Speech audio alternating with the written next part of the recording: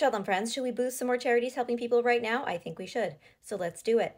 The Rossing Center for Education and Dialogue. This is a Jerusalem based organization working towards understanding justice and equality. They have a diverse Israeli Palestinian staff composed of Jews, Christians, and Muslims. Right now, their volunteers, including the person who sent this to me, are supporting Palestinian residents of East Jerusalem, where families have been severely impacted by the war. Like so many communities who need help right now, people are afraid to leave their neighborhoods or travel for work and the supply chains have been disrupted.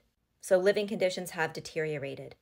This group set up an emergency appeal and is organizing food supplies and other essential items and distributing them through local community centers in various neighborhoods in East Jerusalem. Next, I would like to boost Barzilai Medical Center. This is a frontline hospital. It is under fire, it has been hit by rockets, but it is still treating mass casualties. The hospital is creating underground areas where newborns and critical patients are relocated for protection and treatment. Next up is Natal. This is an apolitical organization providing treatment and support to direct and indirect victims of trauma due to terror and war. Natal's services are available to all citizens, regardless of religion, ethnic background, age, gender, or socioeconomic status. Natal's hotlines are currently inundated with calls from people trying to cope in this nightmare. Next, I want to boost a fundraiser for the unrecognized Arab villages in the Negev. This is a volunteer led fundraiser. It's a GoFundMe to support the over 40 Bedouin villages of the Negev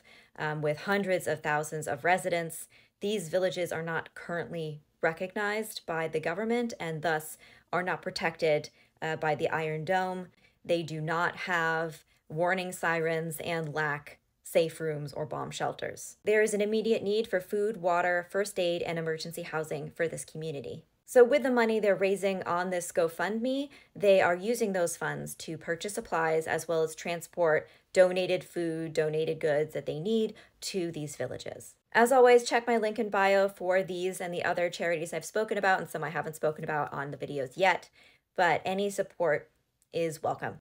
I just recommend doing some research to understand the charity itself, even the ones on this list. Feel free, please do. Do your own research so you know how your dollars will be used and that it's aligned with what you think is important. So, thank you again to everybody who has donated. Thank you again to everybody who is working at these organizations and who is volunteering at these organizations and who is sharing these links and trying to get everybody as much support as we possibly can. Thank you.